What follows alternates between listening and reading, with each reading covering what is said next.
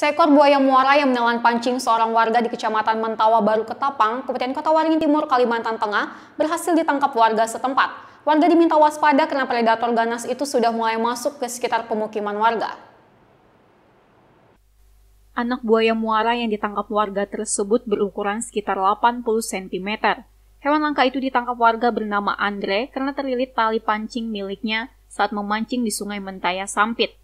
Mendapat informasi itu, Balai Konservasi Sumber Daya Alam Pos Sampit langsung mendatangi lokasi untuk melihat tempat ditemukannya buaya, sebab lokasi penemuan anak buaya muara itu berada di kawasan padat penduduk.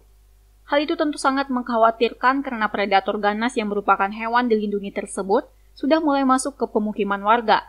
Bahkan menurut informasi warga masih ada seekor buaya muara lagi berukuran 1 meter di sungai tersebut.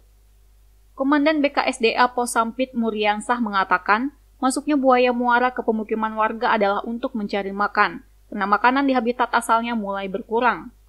Atas kejadian tersebut, warga diminta untuk lebih berhati-hati saat beraktivitas di Sungai Mentaya. Warga juga diimbau tidak membuang sampah rumah tangga maupun bangkai binatang ke sungai, sebab hal itu akan mengundang kedatangan buaya muara.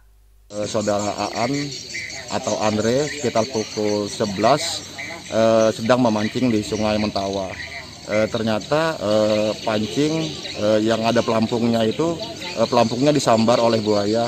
Buaya itu e, berjenis buaya muara panjang sekitar 80 cm.